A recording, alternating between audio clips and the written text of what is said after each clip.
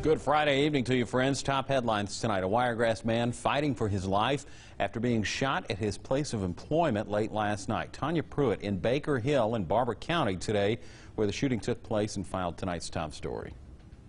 The small town of Baker Hill is usually quiet, but Thursday night at around 10 p.m. that was not the case as shots rang out at a local business causing two of its employees to be injured, one of whom was sent to a local hospital. It all happened here at Keystone Foods, a facility known for promoting safety. And for Baker Hill Police Chief Turner, he did not expect his second day on the job to be this tragic.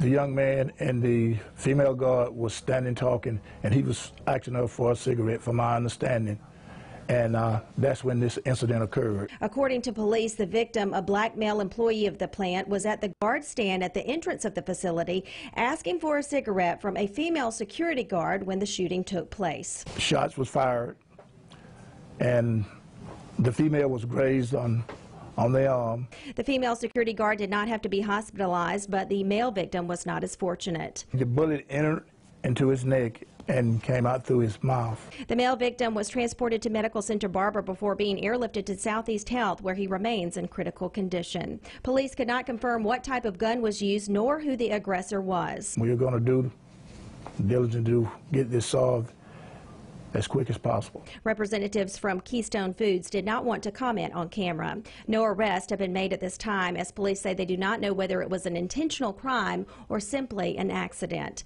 In Baker Hill, Tanya Pruitt, WDHN.